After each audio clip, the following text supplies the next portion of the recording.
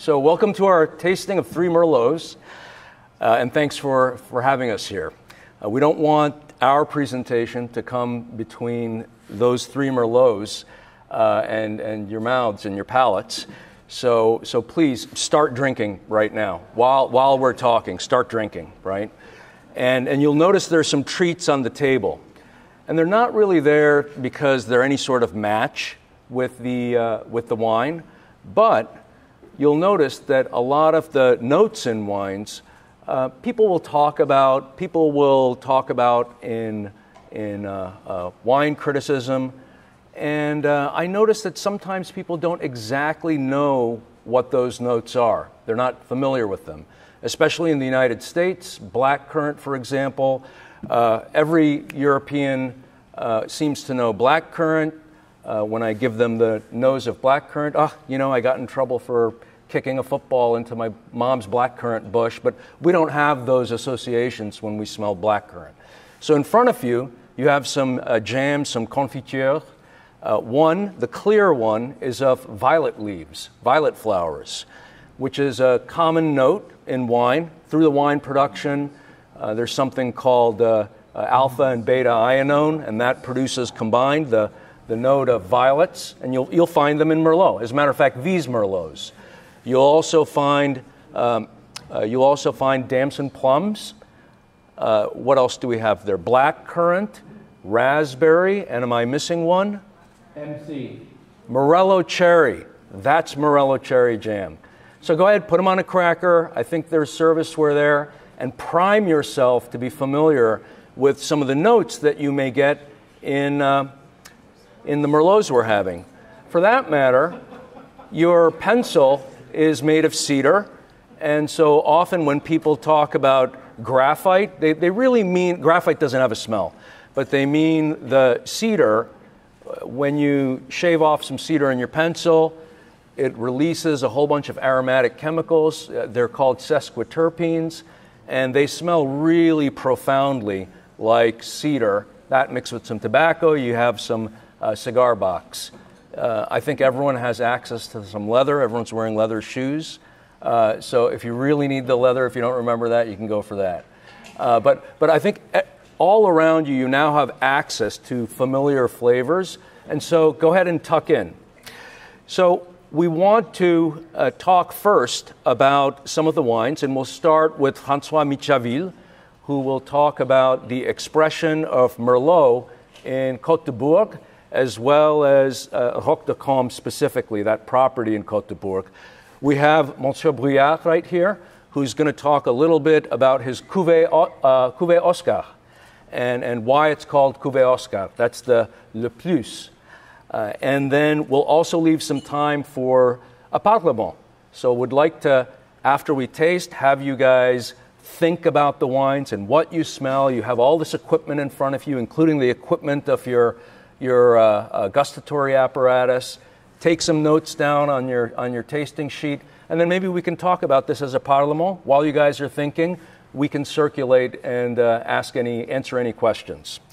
So, uh, first, we'll, we'll have uh, some thoughts from, um, uh, from Francois Mitjavile and then Hubert Bouard, if that's okay.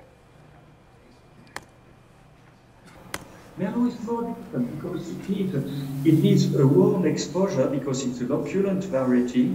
Uh, yes. So it needs a, a, Mediterranean type of exposure, but at the same time, it needs a cold, humid soil to ripen late, you know. Uh, yes. Uh, uh, and so that, that explains that for wines of maceration, it's not so easy going to find Merlot everywhere because if the soil is a bit too much warm, this half precocious variety can give fruit that are a little bit cooked, a little bit flabby, a little bit common, you know. Yes, and, uh, yes. Uh, but in very humid soils in Bordeaux, that's very strange that the, the vegetation cycle goes slowly because it has humidity and the place cold. And we harvest our Merlot in the same day uh, they harvest the Cabernet Sauvignon in Haut-Brion, in the dry gravel of Haut-Brion. So it's adapted. Now, just to talk a, a little bit about Merlot and Côte de Bourg and Roc de Cambes. mainly Merlot in, in, Bordeaux is in the humid, uh, cold, clay soil due to the, the, the, conditions that makes the best expression of the fruit of this variety. But you have the slopes of Saint-Emilion, the southern slopes, where you have the, this, this uh, Mediterranean sub-microclimate and these cold soils that ripens late and that have these qualities of being opulent, fresh, and elegant in the same times. Côte de Bourg is very different because you have suddenly, it's the only soil in Bordeaux where you have slopes in front of the south of clay and limestone falling directly over the estuary of Gironde, which is the widest estuary of Europe.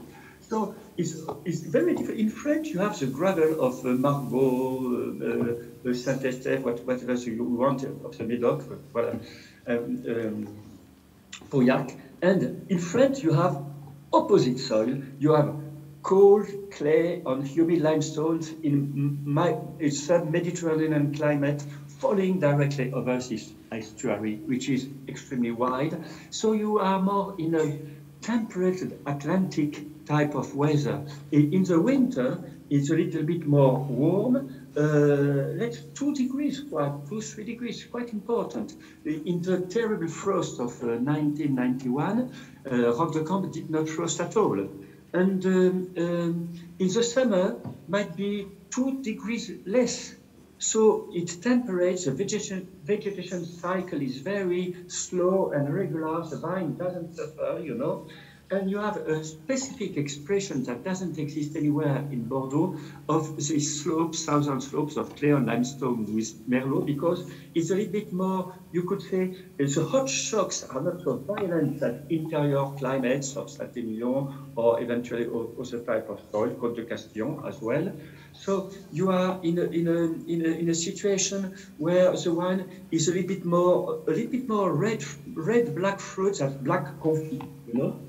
The strengths are not so strong, and you are somewhat a little bit more muscular and spectacular. You know, it's more more, more dynamic. I don't, I do not mean at all it's better. I just try to to, to understand the character of uh, yes. the Merlot in Côte. This is rather subtle because, you know, depending on the year, uh, rain, sun, rain, it changes. And you cannot say that a, a terroir has a mechanical uh, relation with the flavor. You cannot yes. say that is the taste of Pomerol, that is the taste of, of, uh, of Saint-Estèphe, because the year is different every year. The yes. rains changes the game. And as you said a few minutes ago, human beings extremely important and change and play with the game in a different manner too, you know. But if you could say on a very general mood, you have this expression of wines that are uh, uh, uh, uh round, they are uh, quite uh, very supple because Merlot is a supple variety, but they are more muscular that you would have in, in or Côte de Castillon, you know, they are more, yes. Uh, uh, they have more pets, you could say. It, it, some, someone can say they are more, you could say, uh, more structured if they want to criticize. Others would say they are, they are more dynamic. someone who wants to to prefer, you know, because unfortunately, you have among taster moralists of the taste, you know. You see, you have yes. a lot of people who say that on moralistic point of view is a good taste, that on a moralistic point of view is a bad taste. And these tasters, they pass by understanding the, uh, the pleasure of the variety of the flavors when the wines are good. So other tasters could say, let's, it's Saint-Emilion, it's a little bit more decadent, a little bit more voluptuous, but more evolved, but more confused, too much. Well, that doesn't mean anything. These slight difference of character are fascinating, you know. And that is a question of uh, les de Bourg in front of other situations. So, uh, before we go on, and Hubert, would you mind uh, saying a few notes about the expression of, of Merlot in La Lande de Pomerol? Uh, but before, uh, before you do that, I just want to say that I had three questions for Francois Mitjavile, uh, and, uh, and then kind of a, not a question, but some thoughts. what would you like to say to Hubert since he can't be here? and I budgeted, we both budgeted about a half an hour for you know, three questions and saying something to, uh, uh, to Hubert. And it was uh, almost an hour and 45 minutes. Uh, so this is a condensing. Uh, 15 minutes was expressing his great affection for Hubert de Bouard uh, as a fellow artist. Uh, but this guy is a poet, philosopher, artist, in addition to a winemaker. The topics uh, ranged from the moral particularism to the Kantian view of the world as applied to, uh, as applied to wines. Uh, so, truly a polymath and, and brings everything into his wines. Uh, his other vineyard is Tertre Roteboeuf, and, and I'll be bringing a bottle of that, the 2011, for tonight's dinner uh, if you want a taste of his, of his other property. Uh, so before I go on to the actual wines, I'd love to hear, uh, we'd love to hear, Hubert, about the expression of Merlot in uh, specific uh, to La Lande de Pomerol. Um, thank you very much. Um, thank you very much to François Micheli. He's very good. Uh, he's a very nice guy. You, you want to want to? Yeah. Uh, they're going to microphone you.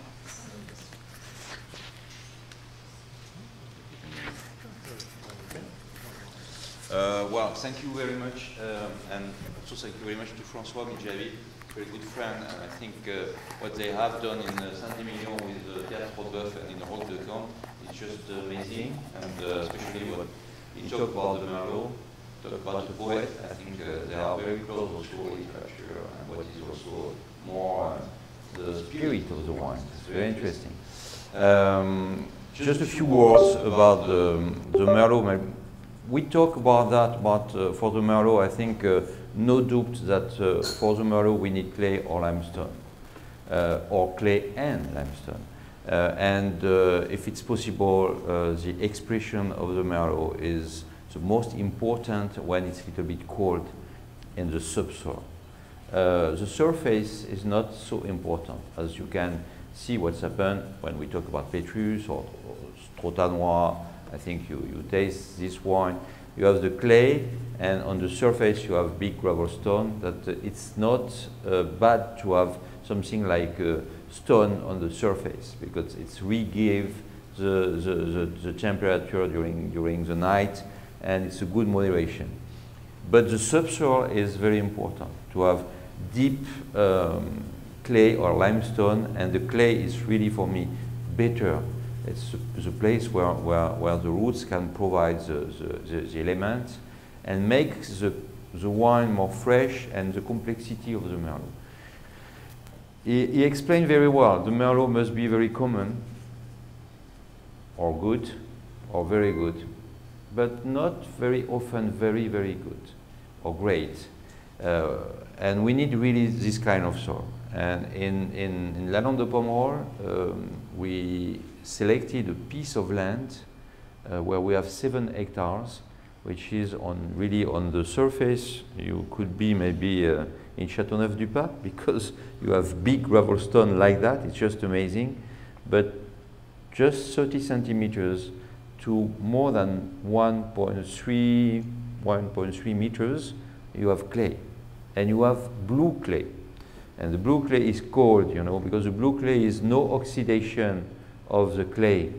Uh, sometimes you have uh, brown or red clay, means that it's oxidation, means that uh, you have air or maybe something. Blue, it means that it's very um, uh, reduction place where you have just cold an expression of a, um, of a style of the Merlot. We have seven hectares on sort of small hill like that. And when we bought Fleur de Bouard, we, we selected the seven hectares. In the seven hectares, mixed, we have very old vines. And we have just selected the very old vines in the seven hectares. And just a word because it's Cuvée Oscar, because it's yeah. my grandson, one of my grandson, and we have um, uh, six different cuvées now because I have six, uh, six grandchildren and uh, we have one Gaspar, one Oscar, one Simon, one Diane, one. Uh, well, this is uh, every year. The, the fortunately we have uh, always we have no we have we never had two. Um, two grandson or granddaughter in the same year. That's Thank you. No, thank, pleasure. Thank, thank you. Um,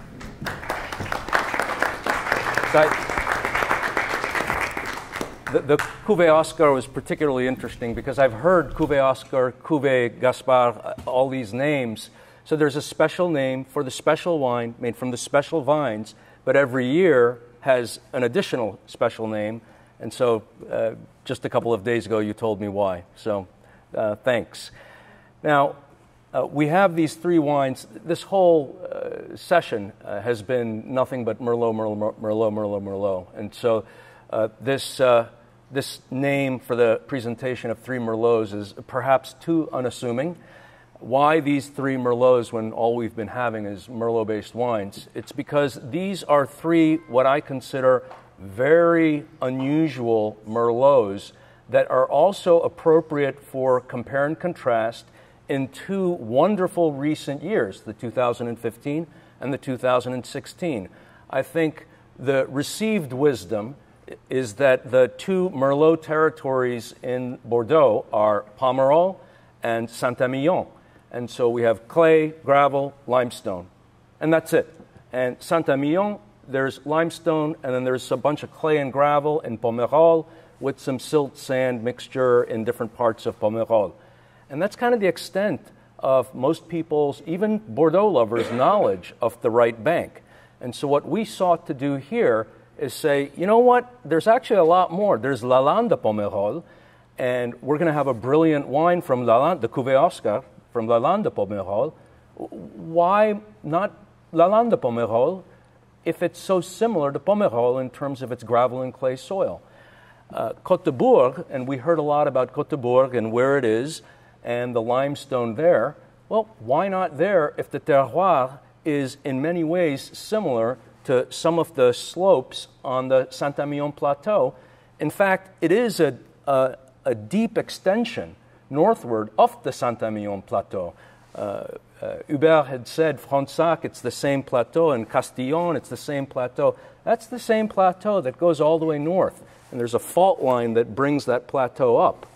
So this guy, at a time when it was unfashionable to grow, uh, well, any fine wine in Côte de Bourg, which is the Bourg area is known for, you know, the reputation is selling single, single digit euro wines in the truck stop. And here we have this, you know, amazing wine. And, uh, you know, it takes creativity, artistry, art, artistry, and innovation and a lot of courage to do that. And that's what Francois Mitjavile did. And then for uh, uh, La Dominique, like Figeac, that is on the unusual gravel portion of the Saint-Emilion, uh, pla- uh, uh, plateau. And it's the, almost the, the part where Pomerol kind of leaks over the boundary because the boundary is man made, but the geological boundary would encompass uh, parts of La Dominique and Figeac and, and uh, Cheval Blanc. So that's why we're having these three wines. And, and this is where they are. So Roc de Cambes is really far north, just across uh, the river from, from uh, Margaux. And then Lalande de Pomerol is in, uh, the La Plus is from Lalande de Pomerol. And then La Dominique is from the Grave part of Saint-Emilion. So Miles is going to start the program for us here. Miles? Here we go. Be your normal humorous self, okay? The guy you were before the tailspin. Do you remember that guy? People love that guy. Don't forget, your novel is coming out in the fall. Oh, really? How exciting. What's it called? Come here. Come here.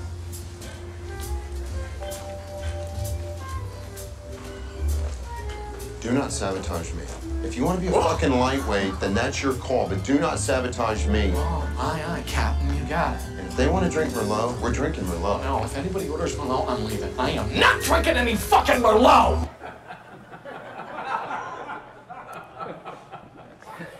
So at the end of the movie, Miles consoles himself with his, with his prized wine.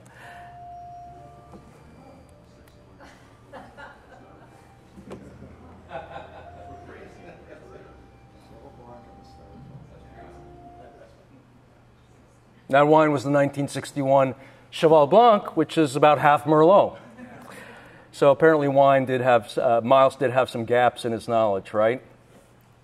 In fact, the odds are, are really high for any wine in Bordeaux except for the, uh, the Grand Cru uh, Classé of the Médoc region and, and, and uh, Haut-Brion to be mostly Merlot. 66, two thirds of, of the red grapes in, in Bordeaux are Merlot. And 57% in, in the Grave, almost half in Médoc. And then, of course, 72% up and down the right bank. And these are the three wines the Roc de Cambes from 2016, and then from 2015, La, Dom- La Dominique, and then the Cuvée Oscar. I'm going to let you read about these wines a little bit. You might see a lot of these notes being represented by what's in front of you the violet, uh, for cedar, smell your pencil, seriously. Uh, or even take your fingernail and etch your pencil and smell it, that's cedar.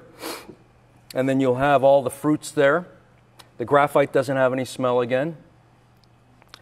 And then I want you to think about these things as you taste the wines. You, you are now familiar with some of these notes in the wines. So, where are you getting them? Look at the wine. You know, you've got a white tasting sheet. Uh, is it on the nose? Is it the mid palate? Is it in the back, the retronasal? Is it on the very end, the finish? How long is the finish? Start writing these things down. I'd love you guys to be prepared for, for a, a rich parlement. what I do sometimes is I actually time the length of the finishes too. And here's the common theme with these wines. Now, Merlot comes from Merlau, which is the local Occitan um, dialect for the blackbird. And the, the fondness for the Merlot grape uh, led to the grape taking on the name of the bird. So that's where Merlot comes from. So, where does Merlot come from in terms of parentage? Well, Merlot's mom was uh, Magdeleine Noire de Charente. And, uh, and, and I think we've known Merlot's uh, father Cabernet, Cabernet Franc. Uh, the, the mother was kind of a surprise. It was just 15 years ago or so that we, uh, that we found like four vines in a stranded vineyard somewhere in Brittany, and then later in Charente, we uh, found a bunch more of these isolated vines. And, and uh, the name was referred to as Madeleine, uh, Madeleine, and that's a commonly given name for the, for the grapes that ripen before the feast day of Mary Magdalene, uh, which is July 22nd. So this is really early. Early ripening uh, grapes have that name, uh, um, uh Madeleine, uh, Magdalene. So the grape was thought extinct until 2004. And Merlot's mom, uh, Merlot's grandmom, is Ondaribi Beltza. Beltza is Basque for black, and Ondaribi comes from Hondarribia, which is a, a town just across the Spanish border. And so it's the black grape of that Basque town. It's about five days by horse. Uh, but I, I think uh, uh, I was being, I, this is all I knew. It was across the border, five days by horse. That's not what Google said, but I threw that in there. Uh, and and uh, you know there was this rumor that somewhere down south was the lineage of Merlot, but no one really knew exactly how it got there. Testing? Exactly, exactly. Carol Meredith and, and all that jazz. That's exactly right. So they, they knew the de- they knew the father, they didn't know the mother, and then they found this isolated vine and they got the mother. But um, uh, Hubert, you were telling me that it's a little bit more complicated where this comes from, correct? Uh, the Mediterranean, and actually not along this coast, but from the Mediterranean, right? Yes. So just, uh, I think everybody knows that uh, the story starts in Georgia or Armenia or somewhere. Then in the Mediterranean uh, Sea, that's the Phoenician push, and you had everywhere in Mediterranean, the Lebanon, the Turkish, everywhere, and then part of the, the grape varieties arriving in Marseille or, or, or Mediterranean. And the part uh, uh, goes through Gibraltar and arrive along the Portugal and then Spain to the Pays. And they arrive, in fact, uh, also at this period, long time ago, and Pays to Bordeaux. So it wasn't the A63? Okay, okay, all right. Uh, so far more circu- circuitous. Uh, and, and so we've actually got a, a couple, uh, a few bottles of this uh, Ondaribi Beltza uh, around here. If anyone wants a taste, uh, I don't know if it's around here right now. If, it, if it's not during one of the presentations, I'll, I'll go grab uh, some of the bottles and, and you can taste it. So it's, uh, uh, it's super interesting. It's almost like a rustic version of Cabernet Franc, and, and it's made into the unusual red txakolina. People here might have had txakolina on a hot summer day or a warm spring day, but the red version is a little bit harder to find. And so I've got three, three bottles here for everyone. So now we're going to take a tour through these, through these vineyards, and we're going to go uh, up the north and we're going to go down south. We're going to stop down south. Across from Margaux is uh, Roc de Cambes, and then a little bit about the geology of Roc de Cambes. As we zoom into Roc de Cambes, Francois uh, says his field is in an amphitheater of limestone, and you can kind of tell that there's this amphitheater of limestone. Now, how did that form? Uh, it's because there's a fault line. On the Margaux side, there are gravel mounds, and we'll get into why that, why that, how that came later. Uh, but on the, le- on the right side, the right bank, is the limestone shelf. Here's the Isle. Now, the Isle wasn't always the Isle. That was the riverbed of the Isle almost a half a million years ago. And then it acted as a hydraulic conveyor belt of gravel from the Massif Central, bringing all the stones from the Massif Central all over. And then what happened is underneath that, uh, the uh, east side, it left after the river changed course, the riverbed lowered, with Gunzian gravel, which is on La Lande de Pomerol and Pomerol. And then later uh, versions left other gravel mounds in Pomerol.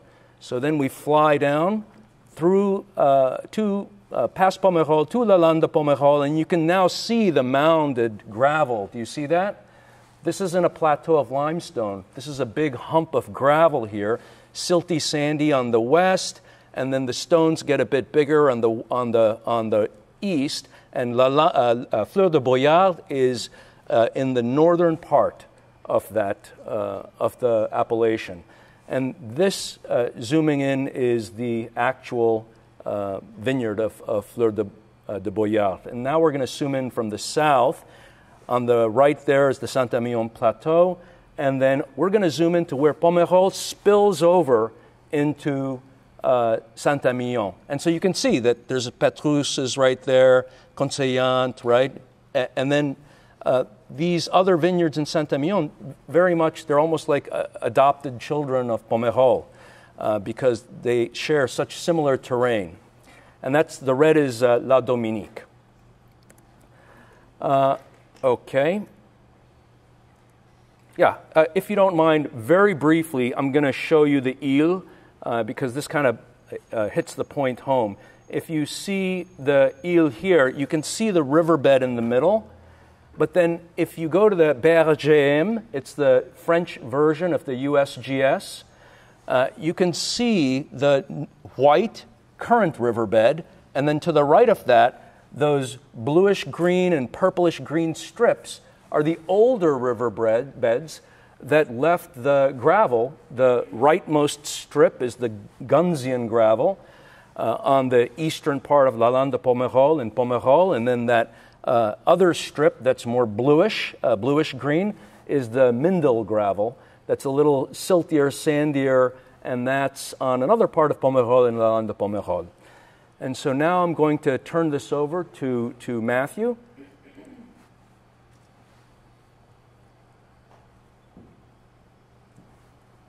So uh, I'm going to just uh, continue our, our journey through um, the three Merlots, and uh, I had a, I have a little bit of a complicated setup, so I practiced and got it all down. What I didn't um, anticipate was in all my practicing is I never had several pours of three different vintages of Figeac before. so th- that, that will either be a plus or a minus, and uh, we'll figure out. Okay.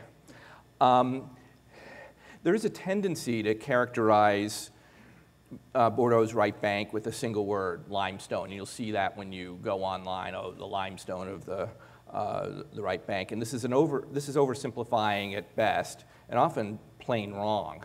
St. Emilion, as we've, we've seen, while most famous for its limestone plateau, also includes Les Graves de Saint-Emilion and Les Sables de Saint-Emilion. And Pomerol has little, if any, limestone at all. I will focus on the uh, four uh, main viticultural soils, gravel, sand, clay, and limestone. It is helpful to think of them also as textures from fine to coarse, which correlates with water retention and nutrient exchange. All four soils are represented on the right bank, and Great Merlot grows successfully on all four.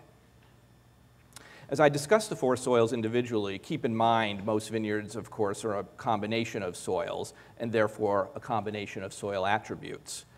There are many ways soils are described and differentiated plasticity, sorptivity, infiltration rates, cation exchange capacity. The simplest is particle size. Clay is the finest particle, measuring less than 0.002 millimeters in diameter. I would have put up a chart showing this, but you wouldn't even be able to see um, a grain that small. Uh, sand is coarser. A sand particle can be up to 1,000 times larger than clay. And gravel is coarsest, up to 50 times larger than sand. Smaller particle size typically means more relative surface area, more water retention, and more nutrient exchange. While geologists view soils as former rocks of igneous, sedimentary, or metamorphic origin disgorged from the earth over millions of years, grapevines primarily care about two properties of soils water retention and heat retention.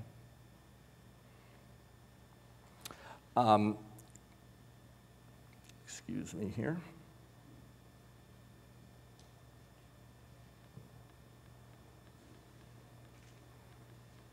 This is not to say that factors such as slope, erosion, microbiology, nutrients don't matter. Of course they do. Um, but primary is heat retention and water retention. Water retention, or its inverse, drainage, is the key to making the vines work hard for water or hydric stress. Yet, there also needs to be enough water at the right times for the vines to remain healthy. Gravel soils drain quickly, retaining little water, um, and sand also drains well. Then there is clay, which drains least well. As a rule, coarser soils have less surface area to trap water and therefore drain faster. Finally, limestone typically drains very well, though for different reasons. For this discussion, limestone will mean the hard Astéries limestone, such as in Côte de Bourg or on the Saint Emilion Plateau. The softer Fronsadais molasses, often found on the coasts, can be thought of as a blend of weathered limestone and other soils, since they tend to get mixed up together. I will turn to clay and limestone in a few minutes. There are some quite interesting additional water retention properties of value to Merlot.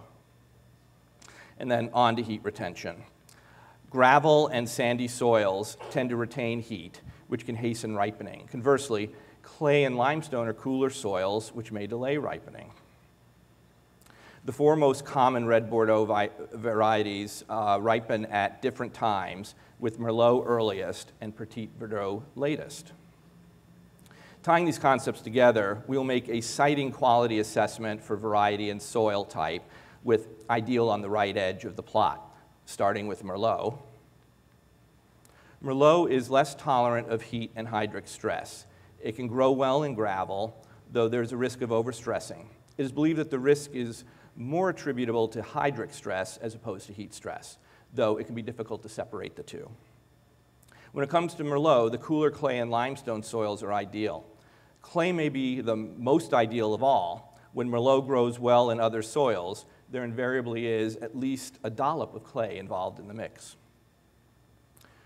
Cabernet Franc fares well across the soil types and is a significant blending grape on both banks. Cabernet Sauvignon, with its deep diving roots and late ripening, loves well-drained warm soils like gravel, such as the gravel croupes of the Medoc. And as we saw earlier today, the gravel croupes in, in Figeac. Um, clay and limestone may not retain enough heat for a variety that at times struggles to ripen in Bordeaux's climate. In addition, limestone impedes the Cabernet Sauvignon roots from diving freely as it does in gravel. If there's great Cabernet Sauvignon uh, grown on limestone in Bordeaux, I'm unaware of it. That's why I always ask when we have winemakers saying, where do you grow your Cabernet Sauvignon? And invariably the answer is, oh, we have some gravel. Um, but this is not to say that I'm unaware of great Cabernet Sauvignon grown on limestone. The Coonawarra region in Australia is famous for its Cabernet Sauvignon grown in warm terra rossa soil on a bed of hard limestone. This just shows that any framework has its exceptions, especially when there are so many different variables and so many ways they combine. Finally, I include Petit Verdot, whose plantings are on the rise all over Bordeaux in response to warming temperatures. It ripens last and requires warm soils like Cabernet Sauvignon, and it thrives in gravel. It struggles in clay and limestone. So, let us take a closer look at the water retention of clay and limestone and its impact on Merlot. But first, a digression on the more straightforward case of, of gravel. Water quickly percolates through gravel and little is retained. Gravel soils normally need some additional way of reserving water, such as impermeable bedrock or porous clay lenses. There is such a thing as too much hydric stress. Clay has a tendency to retain water, high porosity, and become saturated, low permeability, which is not at all what we want for grapevines. In fact, not all clay types are suitable for viticulture. So, what makes a clay so swell for grapevines? Literally, swelling. Some clays, called smectites, swell dramatically as they retain water. The swelling prevents the vines from drawing water, as and as the clay dries, it contracts, releasing water to the vines. In this way, oops, don't want to go there yet. In this way, clay acts as a regulator of water to vines. The regulation is particularly important for Merlot, which requires more consistent access to water than the other varieties. Clays differ in their swelling properties.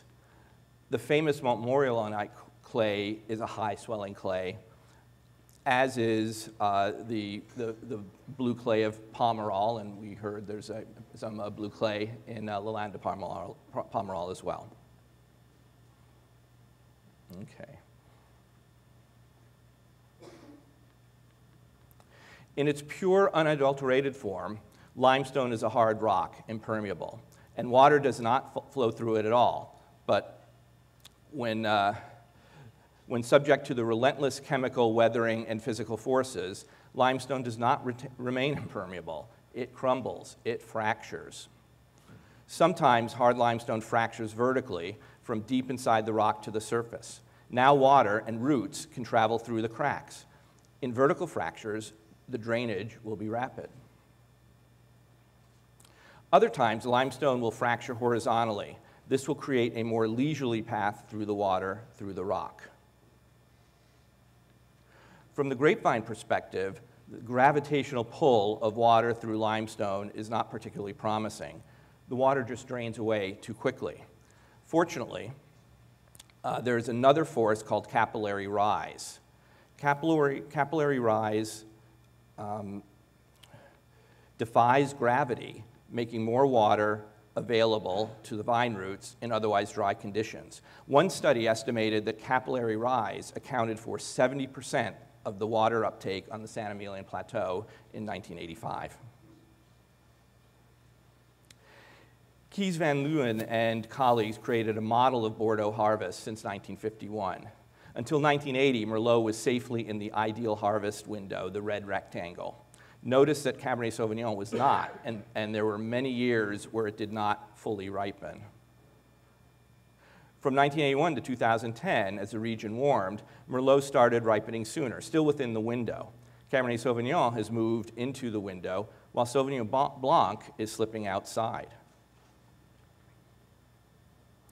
The authors, the authors warn if warming continues, not a foregone conclusion as we learned from David yesterday, But if warming continues, Merlot will ripen too early, at least in much of, of Bordeaux.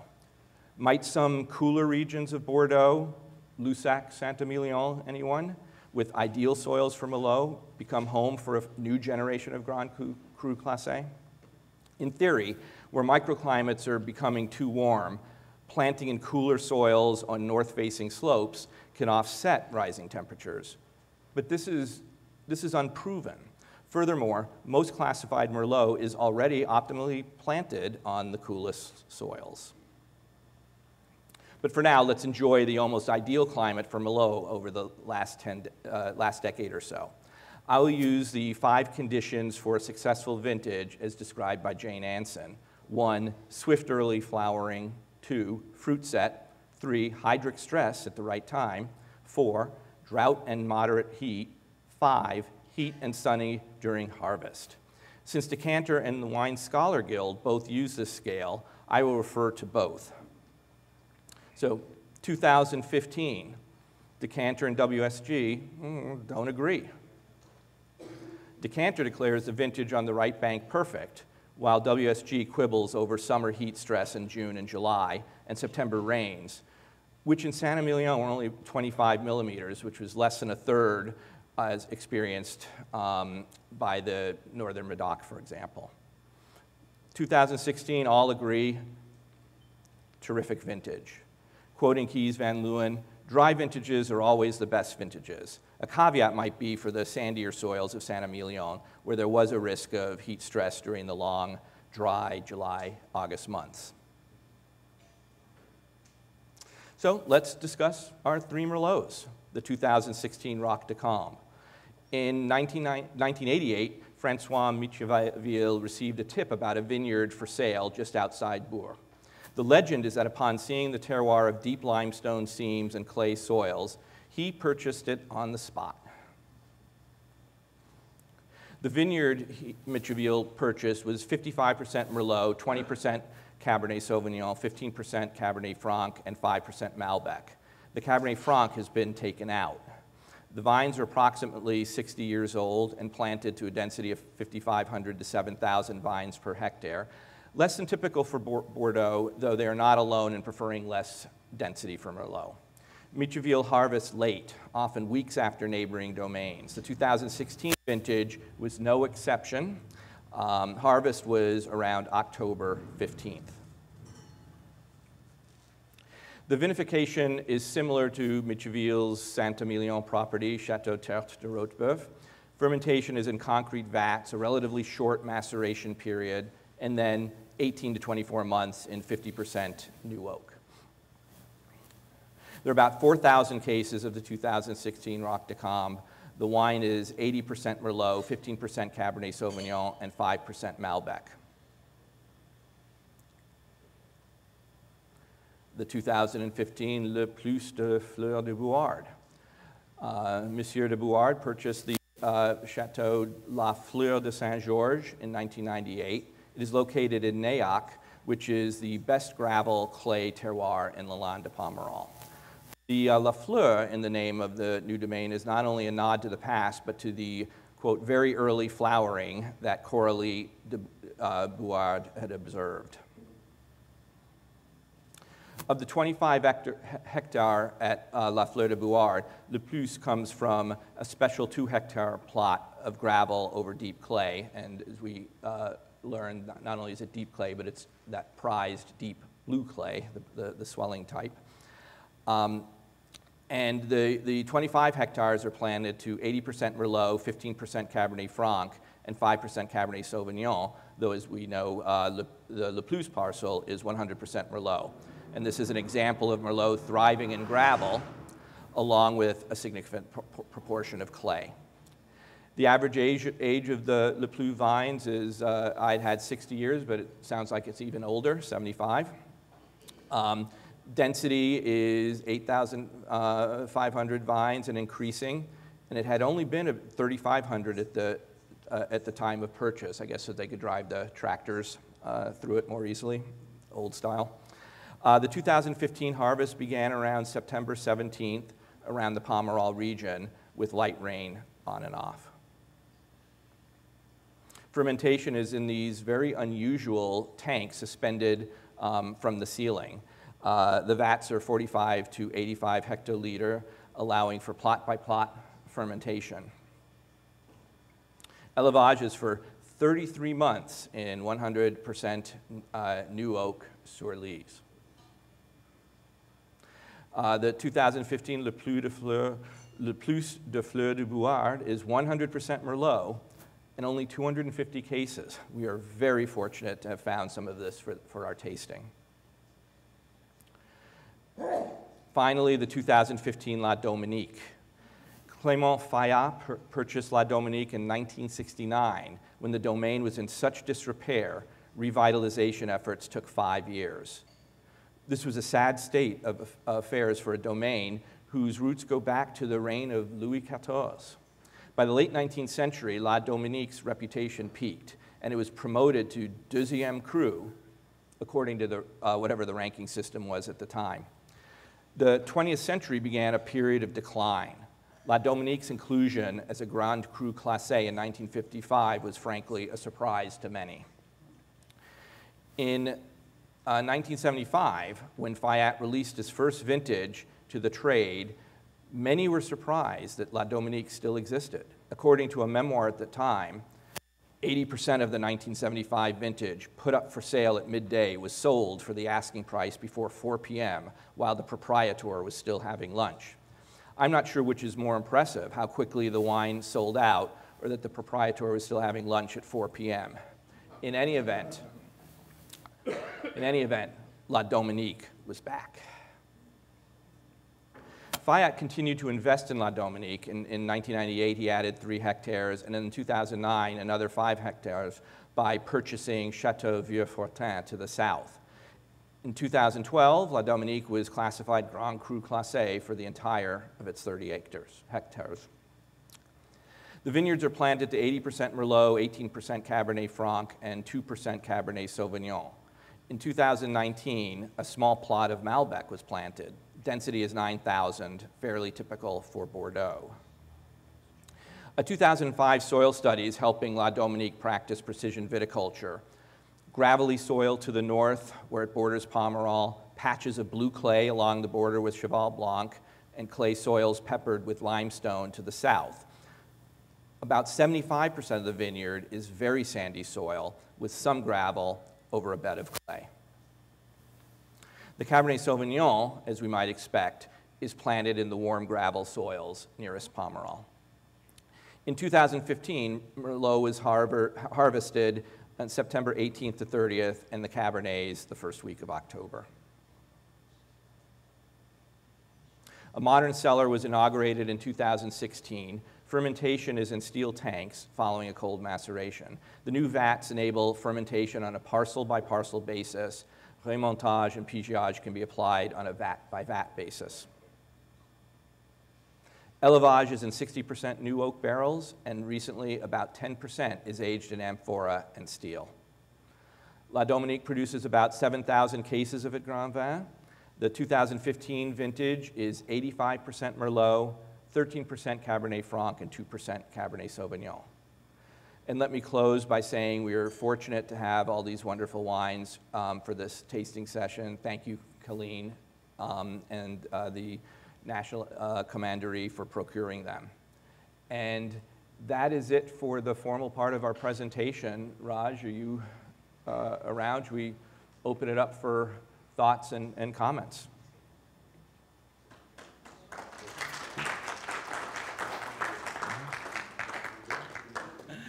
Um, if you guys can spend a little bit of time and, and think about the comparison, the contrast, uh, would love to have some comments uh, from, from each table uh, about the wines. So you have a bit of gravel in Dominique. You know, the, the, all the cab is, I think Matthew said, that all, all the, the, cab is yeah, the all the cab is on the gravel, which is logical based on what Matthew said.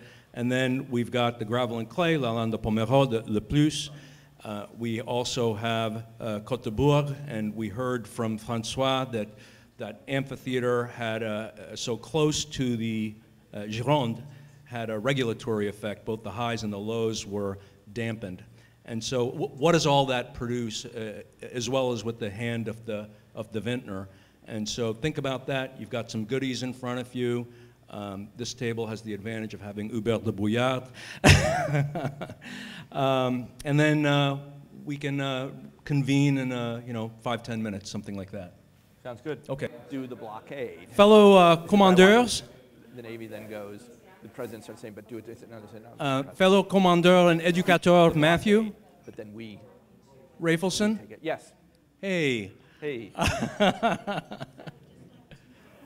I'm having too Yeah, much I, fun ju- with I the just wines. want to um, uh, have maybe a couple of questions. I promised uh, a little bit of time for questions, and, and I don't want to renege. So, so uh, does anyone have any questions? Sir. my weak voice. You might Answer. Um, you did a great explanation of the soils that attract Merlot, why Merlot thrives, or that Merlot thrives in cold clay soils. But my question is why? Yes. And is it is it is it that Merlot as a as a as a vine and as a fruit needs more hydration, or is it that it gets more microbiomes? I mean, what is what is the rationale? That what is the why? Yes. Yeah. Yeah. Go ahead, Ryan. So yeah, After sure, yeah, a- thoughts on that. absolutely, yeah. So if Mer- Merlot ripens a little bit too late, uh, then the flavor characteristics uh, that are produced, the um, the anthocyanins, the polyphenols, just the, the chemistry that, that, that occurs in the grape produces flavors that honestly aren't very refined. And, and the only analogy that I can think of is I don't know if any of you guys are Riesling lovers, like really love Alsatian, German, Austrian Riesling.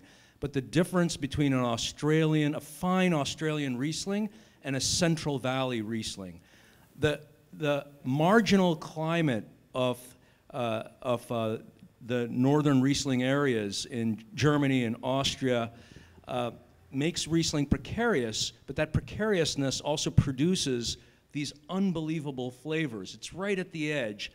So much stress, and that stress causes the vine to produce these flavors.